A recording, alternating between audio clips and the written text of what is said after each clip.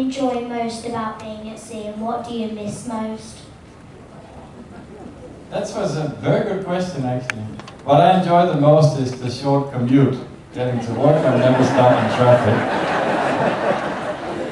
and uh, what do I miss most about? You can't have a dog on board. We're sailing here and we can't have a, a dog, and we want a dog, so that's what I miss the most. We do, I mean, we have it, but it's not. So whenever we have a service animal, we're So, I suppose I could get one and then claim it's a service dog. I never thought of that. Thank you for giving me this fantastic idea. Well, the last thing we want is Captain to have an anxiety dog, let's be honest. Yeah, it wouldn't look too good, would it? Uh, So for me, what I like most about uh, the ship, hmm, I like my 61 different nationalities in the crew, the culture, the diversity. It's one of the coolest places to work every day, because I get to learn a lot from the crew. And I think you would agree, our crew are fantastic, right?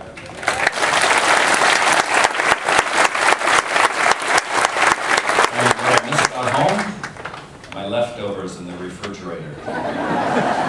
The chef won't let me in the galley and get leftovers at night, so I, I miss my leftovers. And my family, of course.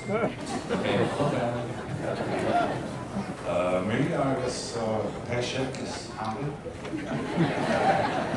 no, I said with the hotel director, I, I do uh, lot to work with these multinational guys, brilliant.